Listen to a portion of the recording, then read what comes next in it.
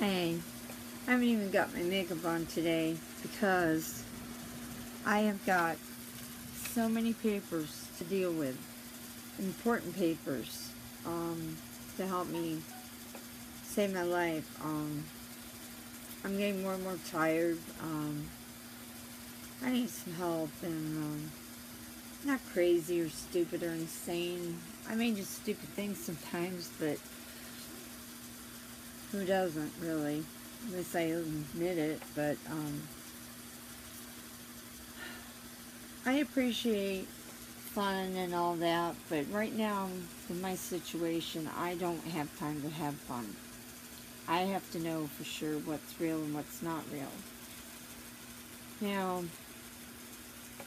this is such big news, and Johnny, um, what happened with the ring the other day? I'm getting a little burnout on every day, thinking today's the day, and um, I don't have all the time in the world. I need help right now, or I'm not going to even live. I'm debating whether to even deal with these papers. But even after my death, I want justice to be done. I want my kid to be looked after and, and for him to get what he should and not these idiots with the phony will and tons of life insurance and I'm out a lot of money. And I have lawsuits like you wouldn't believe but I need my son I need my dog. People in Florida aren't even answering my calls. I I just feel like I don't even leave my house anymore. I um, can't find my friends. Of course they went on with their lives. But I, I don't need a bunch of men giving me shows. The only man I want is you. Because you're a good man. And I know it's not BS. Those idiots couldn't do all this. But um, I need to hear from you. As soon as possible. Like today, please.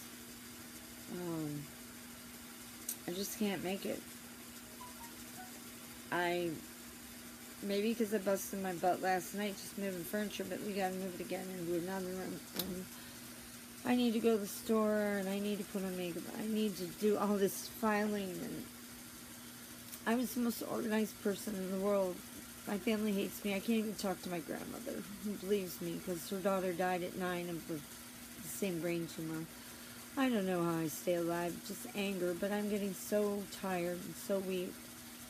I can't even find my glasses after all these months. And um, it's looking pretty bleak. And there are times where I feel like, why should I have to suffer? I mean, you have no idea how much pain I've had to go through in my life. Not just physically pain, but the emotional. And that's what I really can't take is emotional. And my family likes to mess with me and so-called fake friends. I don't really have anybody except Robert who let me stay here and always have my back. I feel like you're out there, but I need to hear from you. 100% you. Please stop having everybody, if you have anything to do with these people calling and staring at you, whatever, please. I can't deal with it. I just want to talk to you, okay? God, look at me crying. I guess it's good I didn't put any makeup on. Who really cares anyway? I mean, I don't know why I bother. I need some help. I need some hope. Please help me, Johnny. And if anybody out there knows them, please let them know Karen Crozier needs them now. Then once everything is uh, concrete and all that, then then we can have fun. But until then, I can't. I'm so unhappy with everything, and and all I have right now is death. And if that is my only ultimatum, that I'm going to die and I can't get my kid or anything, then why prolong the pain if there's no future? So it's pretty important because I have my moments that I just think this is too much. My, my outcome is death. Then if I can't get to where they have a cure and I can get it, I'm going to die soon. So why suffer? You know what I mean?